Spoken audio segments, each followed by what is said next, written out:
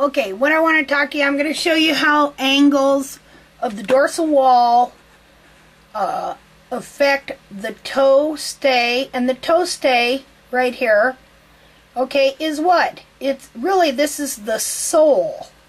Okay, and what is the sole? The sole is the foundation of the hoof. Okay, if the sole isn't right, um, that's when you're going to have a sore horse, a horse that can't even walk across a gravel road without going, ooh, ow, ow, ow. Okay?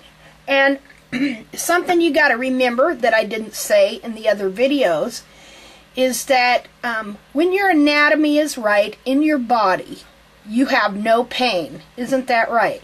But when something is wrong with your anatomy, let's, uh, you know, I know this because I had a shoulder that used to dislocate all the time Okay, extremely painful when something, one of your bones dislocates. Okay, if you tear a fingernail off, does it hurt? You know, if uh, something's wrong in your anatomy, uh, if something's wrong in your anatomy, I got people coming in and out dogs barking. Okay, if something's wrong in your anatomy, you're in pain. Isn't that right? Okay, well, the anatomy of the sole was meant to be shaped and formed and in place in a certain way, okay, and the wall, and when it's not, okay, then it's not in the place where it needs to hold that bone correctly.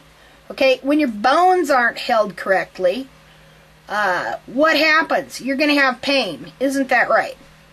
Okay, so when this bone isn't in the position it's in right here with the wall at a certain angle, the sole contained and in a certain angle, um, then this bone is going to be sitting on flat sole and uh, it's going to be hitting the ground and that's going to be very uncomfortable, painful for the horse.